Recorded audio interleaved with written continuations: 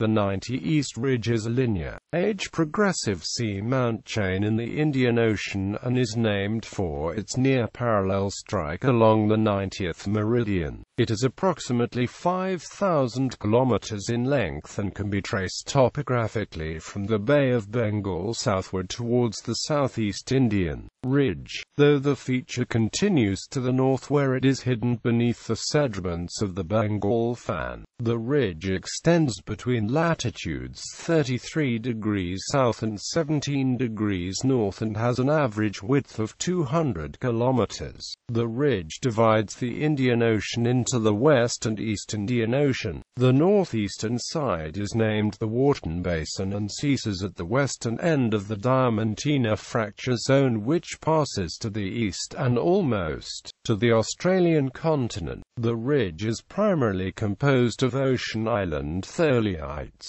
a subset of basalt which increase in age from approximately 43.2 plus or minus 0.5 ma in the south to 81.8 plus or minus 2.6 ma in the north though a more recent analysis, using modern RR techniques is currently pending publication. This age progression has led geologists to theorize that a hot spot in the mantle beneath the Indo-Australian plate created the ridge as the plate has moved northward in the late Mesozoic and Cenozoic. This theory is supported by detailed analysis of the chemistry of the Kerguelen Plateau and Rajmahal traps, which together, geologists believe, represent the flood basalts erupted at the initiation of volcanism at the Kerguelen hotspot which was then sheared in two as the Indian subcontinent moved northward. However, the existence of so-called deep mantle hotspots is currently a topic of debate in the geologic community, with a few geochemists favoring an alternative hypothesis which postulates a much shallower origin for hotspot volcanism. The ridge has been surveyed several times in the past, including several times by the Deep Sea Drilling Program. In 2007, the R.V. Roger Revelle collected bathymetric